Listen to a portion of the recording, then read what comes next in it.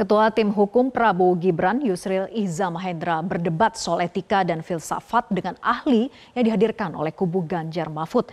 Franz Magni Suseno, Yusril bertanya konsep etika yang dipakai oleh Romo Magnis.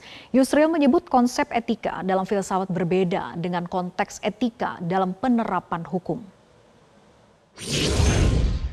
Saya agak khawatir Romo confuse, Romo antara etik dalam filsafat dan etik yang dibicarakan dalam forum ini, yaitu etik yang terkait dengan kode etik yang menjadi kewenangan dari Mahkamah MKMK, jadi kewenangan DKPP untuk melakukan pemeriksaan dalam satu proses peradilan etik.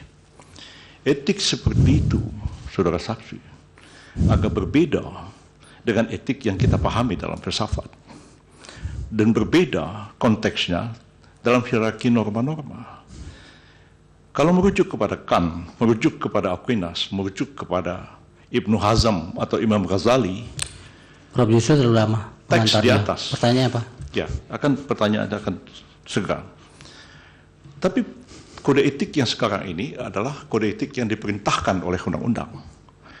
Uh, suatu ketentuan etis yang tidak dirumuskan dalam hukum memang tidak bisa ditindak oleh yudikatif oleh para hakim sistem yudikatif suatu negara itu. Itu menjadi unsur untuk menilai unsur bagaimana kualitas seseorang atau juga suatu lembaga dinilai.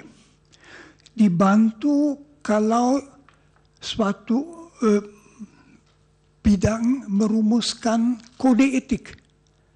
Karena lalu kode etik itu merumuskan dalam poin-poin yang relevan hal-hal yang perlu diperhatikan. Jelajahi cara baru mendapatkan informasi. Download Metro TV Extend sekarang.